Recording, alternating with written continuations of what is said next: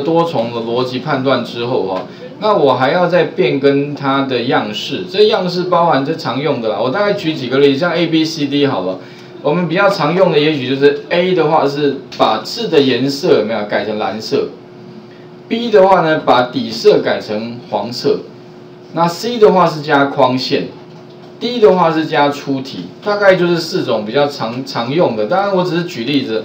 啊，至于其他没讲到的，你也可以做一些衍生性的那个哈变化。像同学突然就是问到说那个呃字的什么呢？字的字形啊，字中是等等啊，反正这些类似的哈。那字字的颜色就 font color 有没有？啊，其实它就是在我们储存格后面多一个 font color。啊，后面的话颜色特别注意哈，后面一定要学会。以后呢，只要在 VBA 里面，你只要牵涉到颜色，你要记一个很重要的函数。叫做什么呢？RGB，那 RGB 顾名思义嘛，R 的话是什么颜色呢？就红的嘛，G 就绿的嘛，啊，B RGB 就是三原色嘛。那后面的话就是最小是零，最大就二五五。哎，意思就是说哈，你可以用调类类似像调色盘，有没有刮胡嘛？比如说你要蓝色的。所以不用啊，就是你自己就可以调出你要的颜色啊。其实这边的话哈，零零没有红的嘛，没有绿的，那只有蓝，蓝的最大，那就是蓝色嘛。OK，顾名思义。所以如果说我今天呢，我要第一步哈，我要把刚刚的那个程式做修改，比如改成什么？比如说我今天要改这这四种效果，套用到。我们的那个啊 VBA 城市里面该如何做啊？这个部分的话哦，你们可以参考我云端白板上面的第七页了哈，就这边都有啊，也不用学太多了。我觉得后来发现哦，同学有一个反馈，就刚开始教很多，不见得你们都派得上用场。但是啊，我所以我尽量哦，采取删去法。我后来发现我本来以前我教好多好多，后来我发现我越删越删，最后告诉你就学这些就够了。哦啊，至于你要再多学的话，你就自己再去查，再去变化一下，因为它基本上的架构都差不多，你只要懂得那个叙述方法。啊，比如说颜色嘛，哈，这变颜色以后都变颜色。啊，但是特别注意哦，你要把它颜色变上去之后，最后你要把它恢复。啊，因为我们不是有也类似啦，有有加上去，有把它清除颜色。啊，清除的话啊，你不能像那个。刚刚清除里面资料就双引号这么简单，没有，你要加上去拿回把它去除掉哦，格式设定又不太一样哦啊，要怎么做？首先我们拿这边来做练习啊，比如说我们拿哪一个来练？拿那个刚刚这个好了，因为我刚业绩把它另外加一个 module 哦，把它分开来啊。当然如果你把它放一起也没关系啦。如果你要再把它独立出来，你就按右键再插入一个新的模组啊，把它贴到。Module 二里面啊，Module 一就是原来的，Module 二就是业绩刚刚新增的。那我们拿那个乘积多重这个来来练习。那因为刚刚乘积多重哦是 A B C A B C D 嘛哈，那我就把这个再复制一个贴到底下，好，所以按拖拉加 Ctrl 键了，这样比较快。那这边改成什么？乘积多重哦，我这边多两个字吧哈，乘积多重加一个颜色好了，OK。哦，也就是说呢，我们等于是说。加上颜色，那加颜色的部分的话很简单哦，在这个地方两乘积多重颜色。那如果说我今天呢要加 A，要把它变成蓝色的话，哎，特别注意哦，其实这一行一定要输，这个第一行是输出什么？输出资料，下一行呢就是把它格式化。那要怎么格式化？其实也不用特别去，因为我尽量哦，我觉得城市做的这十倍也没意义啊，所以我的习惯就是我一定要用理解的。然后我要想一个方法，我下一次哦，我也可以自己打出来，我不见得一定要去去抠了啊。所以怎么特别注意？一，请你先在下面格式化的话哦，第一个你一样要告诉他说哪一个储存格，那一样当然这个储存格嘛哈，这个储存格的字的颜色等于什么颜色啊？我如果说我要呃的是蓝色的话，那怎么叙述？一特别注意哈。其实后面就点缝卡，呃，点缝点卡了就可以。不过好像我的习惯哦，我会先啊不加刮胡。为什么？因为你加了刮胡啊，你点下去啊，它那个点有没有？它不会提示你。那如果说你不先不加的话哈，你要你会发现，在 Sales 物件哦，点下去会提示啦。啊有的时候说真的，你也不用死背，因为里面清单都会给你。假设你缝哦，你拼不出来，你打一个 F，再打一个 O 吧，OK，哎，缝就出来。那这个缝的话哦，指的就是你可以把它当成是储存格的子物件，它这个叫字形，字形缝子哈，OK，其实它是一个属性的哈，这个属性，那其实你可以把它当成什么？一个设定值，就是等同有点像是什么？你在这个地方找到常用里面，这边有一个这个地方，你去改它的颜色，改成蓝色，给这个蓝色。那但是我们如果说假设哈，每个地方像一堆资料，你每个地方都用手动慢慢加，慢慢加，哇，那不得了，你花很多时间。那如果用程式来跑哦，回圈一跑完，全部 OK 了，资料量越大哦，越感觉哇，所以哦，你会发现啊，像我现在。一定不可能除法炼钢的，那除法炼钢永远做不完，一定要懂得利用回圈帮你做一点事情。所以为什么要学回圈？为什么要学逻辑判断？就是你要把你要做的那些范围先刷找出来之后，然后利用逻辑判断帮你把事情全部做完。OK，那怎么做？哦第一步哈，呃，点 sales 点缝，然后后面的话呢，记得你要针对事情里面的什么。下一阶段的属性做事啊，你会发现你这边有有 color 没有字的颜色啊？如果说你要改的不是字的颜色，你要改字的什么呢？字的名称的话，比如说你要改，之前有同学就问，哎，老师我要改那个字的，哎，比如我要改微软中黑体的话，那你可以什么 font name 就可以了。那你如果字的大小的话呢？那字大应该 font 什么 size 嘛？有没有啊？不是都有啊？所以有的时候其实哦不用死背的，你大概。看上面的那个清单，你大概就知道。哦，我们这个是要把它改颜色，所以 font color。那后面的话呢，记得哦，等于什么？等于 RGB。那我要的颜色是什么呢？呃，蓝色就零，没有红色，没有绿色。那我把那个就是蓝色调到最大，那基本上它就蓝色了。OK 啊，记得哦，最后哦，这个刮弧一定要补上，因为常常有同学哦，这个动作漏掉了。啊，漏掉的话呢，那就嘛啊，记得缝这个点点啊，应该在点前面，这个应该在这个刮弧，然后这边有个点，OK，这样的话就 OK 了。好，那我们现在呢输出 A 的话，那就是什么呢？就把它改成所谓的蓝色，OK，font color 哈等于这个 RGB。那有同学会说，老师，那这个我我如果我的颜色我需要鲜艳一点啊，那怎么办哈？其实很简单，如果你要改颜色的话，假设你不知道这边。油漆桶啊，或者是这边都有其他色彩。假如说你要点一个这个颜色好了，你就按制定，这边就 R G B 了。甚至你可以去调它，有没有？去选它。但一般没有那么无聊啦。说真的，我只是告诉你，如果你要很不一样的颜色的话，你可以从这边去选取，有没有？调一个颜色，然后拉一下，啊，不就有这个颜色？你就把这个记下来就好了。啊，不过大部分我都记整数啦，不然哪可能那么记那么多颜色？我我。我们这个不是学 Photoshop，所以哦不需要知道太多。我们后面顶多是需要知道深蓝色或浅蓝色，大概就差不多，就是浅一颜色的深浅哦。OK，好，那再来的话呢，我们就把这个颜色做完，我们大家执行看看，哎，字有没有变成什么？那个 A 部分呢有没有变成蓝色？执行，哎，有没有看到？哎，不过好像蓝色看不太出来，我把它盖红的好了，二五五，好，红的话就是。二五五嘛，哈，然后零零就可以了，好，OK，执行一下，哎，变红了，好，那再来的话，我希望把这个 B 哈改成底色，所以一样输出 B，B 下面如果我要底色的话，底色的部分的话，它叫做 Integral Color，所以你就是哦，那个底色的话哦，就是点什么呢？它叫 In I N 哈，Integral Color，这这边有个 Integral 有没有？这个呃，integral color 哦，你就找到这个 integral 点 color，那其实做法是一样的，等于什么呢？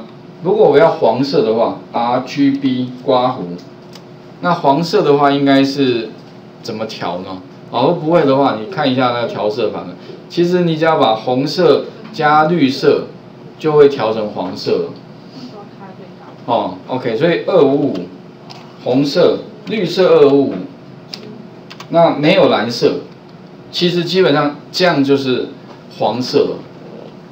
啊，其实我印象很深刻啦，因为我小时候我记得那个美术课有没有？我就把那个什么红色的颜料哦，跟绿色的颜料挤一点，然后把它绘绘绘，哎，真的变黄色了。我小学就知道了，所以我 那以前乱玩就哎会真的，不然回去试试看。啊，如果说你今天假如说你把红色加绿色加蓝色全部都最大，会变什么颜色？黑色啊，黑色。那显然你们没有上过美劳课。黑色吧。水水彩啊？没有吗？有啊。有吧？哦，你其实你随便挤一挤呀，你就把它全部和在一起变白色的。白色的，而且你要亮要。要不然你们自然自然课有一种有没有把那个一个一个一个七彩的扇子圆盘有没有？你把它转转转到最快了嘛，就变成白色的。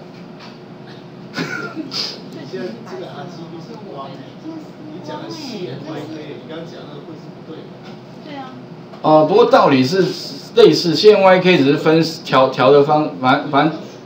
那黑色要怎么调？啊，黑色就全部都没有啊。就是零啊。就零零零啊。OK，零零零就黑的哦，好，然后二五二五二五就白的啦。OK 哦，大概这些基本色啦，知道一下就好了。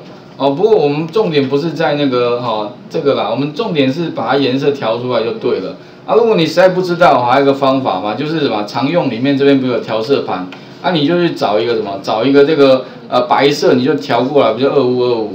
对啊，如果你要黑的话，黑的在哪？黑的黑黑黑的这个嘛，OK，那制定就零零零不就 OK 了？哦，这也是一个方式啊。哈，如果你实在记不起来没关系，那不是太有东西，其实也不用死背啦。你主我是觉得你就是要就慢慢要培养那个呃有趣这个趣味性吧，哈，然后这样的话就调就可以把底色变成黄。我们来试一下，B 把它变成黄的，OK 有没有？好，那 C 的话呢，就是要把它框线。框线特别注意哈，它其实一样是这个储存格，然后呢点下去哈，它叫 border，哦有没有？框线叫 border，然后特别注意，它一定有加 s，可是刚刚 phone 跟那个 intel 没有加 s，哎为什么？因为 border 是很多条线，上下左右有没有？还有中间的线有没有所构成的？然后 border 是点 color。一样嘛，哎，有也有 color 的哈。那如果我要红色的线的话，那就等于等于什么呢？等于 R 区 B 刮弧，然后二五五逗点零逗点零或刮弧，哎，框线就设计出来。然后记得哦，这边一定要记得把这个这个一定要加哦。刚刚我是后加哈。再最后的话出题的话，那其实出题哈。哎，其实基本上哦，跟那个刚刚缝也有关系。刚刚好像也有缝，有没有？Sales 点什么呢？点缝里面，F O 有没有？缝字形这个设定里面哈，点什么呢？有没有看到有个什么 bold 哦？出题嘛哈，等于什么呢？其实要就是 true，不过它没有跳 true false，你自己打一下 true，或者你其实可以打一也可以啊，一也是 true，零就是 false。OK，在任何程式语言都一样，一就是 true，零就是 false。OK 啊，不过我们也是打这样啊，记得啊，刮胡一定要加上去。好，四种效果就 OK 了。所以我记记得哈，我这个刮胡是后加，主要原因是因为如果你加了刮胡点下去它不会提示，所以我习惯是后加，然后把成这个按照顺序打完之后，然后把它 run 一下。嗯，OK，你会发现哦，就照我的需求把结果给做出来了。那但是特别注意哈，后面我们还要做一件事情，就是怎么样把这个颜色拿掉，因为有的时候哈，我可能我这个效果要做，但是我希望我要把它恢复成原来的样子。那恢复成原来的样子哦，你不是说清除就算了，因为清除怎么样，它是清除资料，它不会清除格式。所以如果你要清除资料的话，记得哈，待会我们再来看哈，也许就是。再把那个资料给清除啊，所以特别注意，我刚刚一拿这个复制过来，二加个颜色，然后呢，其实就是在每一行的叙述下方再去变更它的这些相关效果就可以了。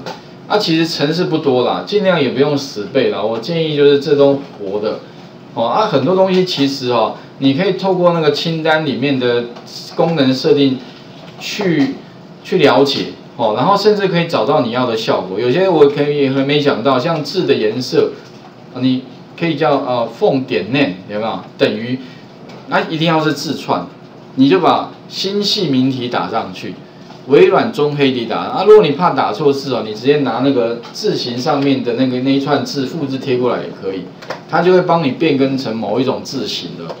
啊，字的大小就 font size，后面给数字就好了，比如十四、十六，它字就会放大或缩小。OK，所以这部分，哦，请各位试试看哦，把那个啊字的颜色加上啊，待会我们就是再把字的颜色拿掉。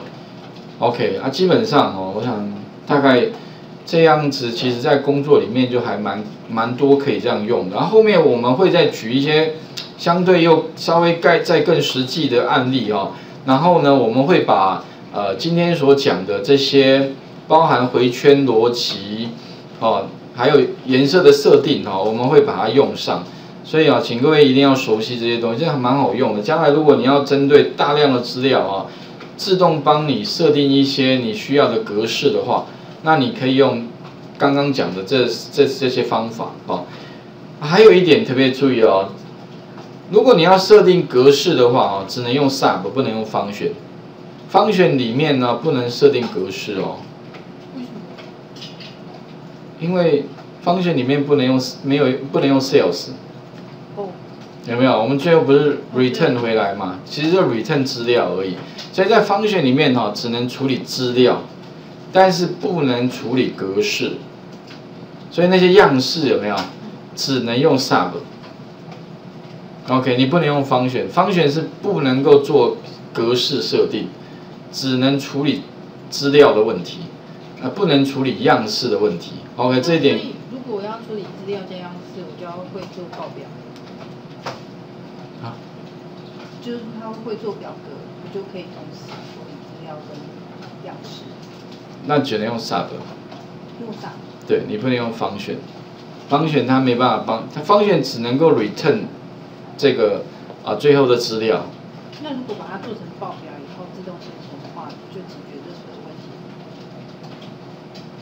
可能要做很多事情嘛，报报表，当然一个报表的过程当然很多个动作嘛，对啊，你可以比如说你一般也可以这样，比如你先写一个 sub，再写一个 sub，哎，用用呼叫的，全部把它串在一起也可以啦，啊，因为其实那种那种复杂的报表，其实可能啊不是说一个 sub 可以解决的，那你可以多写几个 sub，比如第一个动作，第一个动作，第三个，也许可以分很多个阶段分别完成。